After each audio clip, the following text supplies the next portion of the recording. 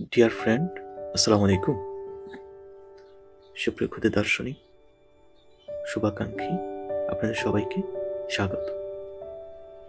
চারই ফেব্রুয়ারি বিশ্ব ক্যান্সার দিবস ও চোদ্দই ফেব্রুয়ারি মরহম মোতালিব স্যারের বারোতম মৃত্যুবার্ষিকী উপলক্ষে আগামী উনিশে ফেব্রুয়ারি সকাল সাড়ে নয়টায় জুম মিটিংয়ের আয়োজন করা হয়েছে। উক্ত হোমিও ক্যান্সার অ্যাওয়ারনেস প্রোগ্রামে আপনাকে স্বাগত। আপনারা জানেন, বিশ্বে ক্যান্সার পেশেন্টের সংখ্যা দিন দিন বৃদ্ধি পাচ্ছে। আপনি গুগল সার্চ করলে পাবেন, ইনকিউরেবল ডিজিজ দুরারোগ্য ব্যাধির ফার্স্ট ক্যাটাগরির ডিজিজটার নাম হচ্ছে ক্যান্সার। অ্যালোপ্যাথিতে ক্যান্সার ডিজিজের মেডিসিন এখনও আবিষ্কার করা হয়নি। তারা অপারেশন, কেমোথেরাপি, রেডিয়েশন দিচ্ছে। কিন্তু কদাচিৎ দু একজন পেশেন্ট বাদে খুব বেশি পেশেন্ট টিকছে না। হোমিওপ্যাথিতে ক্যান্সার পেশেন্টকে টিউমার ফর্ম অবস্থায়, টিউমার অবস্থায় আইডেন্টিফাইয়ের সাথে সাথে মেডিসিন নেয়ার মাধ্যমে। ফার্দার ইনভেস্টিগেশনের মাধ্যমে আমরা যতদূর সম্ভব পেশেন্টকে সুস্থতা দেওয়ার প্রক্রিয়ায় সফল হয়েছে ইনশাল্লাহ কিন্তু অবশ্যই সেটা টিউমার অবস্থায় আসতে হবে।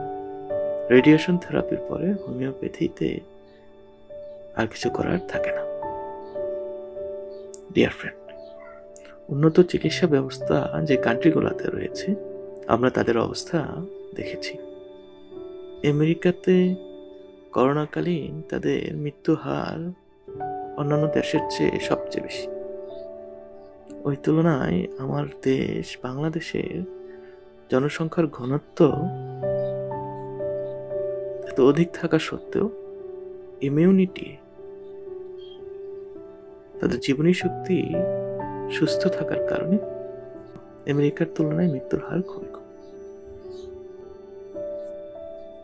ডিয়ার ফ্রেন্ড আমার দেশের আবহাওয়া, আমার দেশের চিকিৎসা ব্যবস্থা এবং বাংলাদেশের মানুষের ইমিউনিটি পাওয়ার এতই স্ট্রং যে এটা আল্লাহর তরফ থেকে একটা নিয়ম সুতরাং আমরা আমেরিকা উন্নত কান্ট্রি বাংলাদেশ গরিব কান্ট্রি এই হতাশা ভোগার কোনো কারণ নেই। মিশন হচ্ছে জীবনের শেষ দিনটি পর্যন্ত সুস্থ থাকতে হবে। এবং হেলদি লাইফ বলতে আমরা যাকে বুঝি। ফিজিক্যাল মেন্টাল সোশিয়াল অ্যান্ড স্পিরিচুয়ালে আপনাকে ফিট থাকতে হবে। আসছে উনিশে ফেব্রুয়ারি দুই হাজার বাইশ, শনিবার।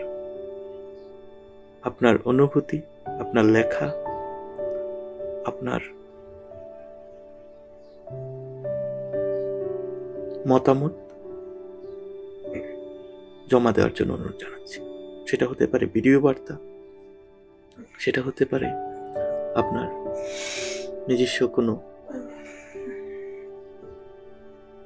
লেখা যা সৃষ্টির কল্যাণে সাদকা হিসেবে মানবতার সেবায় কাজে দেবে ইনশাল্লাহ ভালো থাকবেন, সুস্থ থাকবেন। আসসালামু আলাইকুম।